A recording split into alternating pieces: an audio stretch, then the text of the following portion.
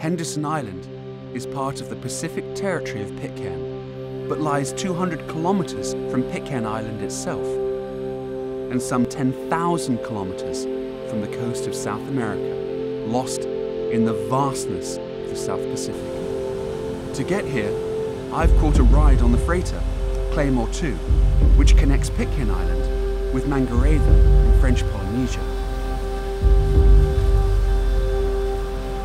Henderson is only 10 kilometres by 5 kilometres, yet it's a vitally important place.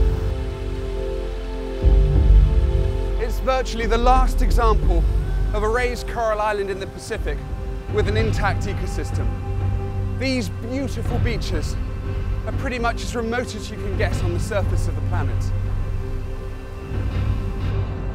But as remote as Henderson is, some creatures seem to have no difficulty in finding it. This bristle-thighed curlew has travelled here from breeding grounds in faraway Alaska.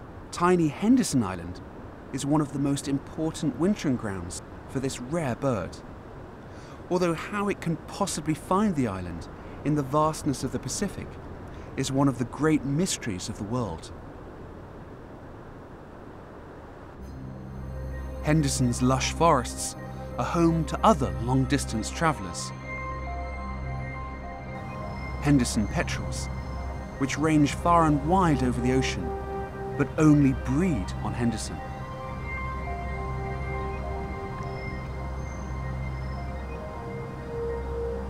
Landbirds have also managed to discover this place. They stayed and evolved into species found nowhere else on the planet but here. The Henderson lorikeet, a colourful little parrot. The Henderson fruit dove. And the elusive Henderson crake, a flightless bird that skulks on the forest floor. But Henderson's unique birds haven't always had this place to themselves. Polynesians were just as adept at travelling vast distances across the Pacific and in finding tiny islands to colonise. They found Henderson around 800 years ago. And when they arrived, the island abounded in life.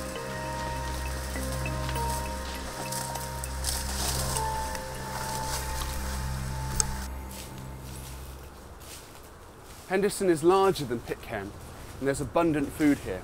The flightless land birds would have been easy prey for the Polynesians, and these land hermit crabs that cover the ground would have been easy pickings. And of course, the reefs also just teem with fish. There's been about 20 major habitation sites discovered so far on the cliffs that surround the island, and that indicates approximately 100 Polynesians could have once lived here. On such a small island, even hundred people can have a big impact and several birds seem to have disappeared during the Polynesian occupation. The Polynesians themselves disappeared around 500 years ago, perhaps to colonize new islands. And apart from a few shipwrecked sailors, Henderson has been uninhabited ever since. But the Polynesian influence is still being felt. Pacific rats hitched rides on Polynesian canoes, and like the Polynesians, they've crisscrossed the Pacific. On Henderson, they eat around 90% of all seabird chicks within a week of hatching. To return Henderson to a truly pristine state means getting rid of the rats. In 2011, the Royal Society for the Protection of Birds and the Pitcairn government began a massive eradication campaign in the two years since the rat eradication project was completed, an expedition has returned here to Henderson Island, and apparently they unfortunately saw a rat. Rats are still here, though their lower numbers after the eradication campaign has meant some bird populations have risen, at least until rat numbers build back up again. Henderson Island remains uninhabited, and it's about as far from the rest of the world and humanity as you can possibly get. But as more and more private yachts travel across the oceans of the globe, the risk of introducing more non-native species to habitats such as this one is ever increasing. How is it possible to police the most remote and uninhabited corners of the globe? How can we prevent more ecological disasters from happening again and from history from repeating itself?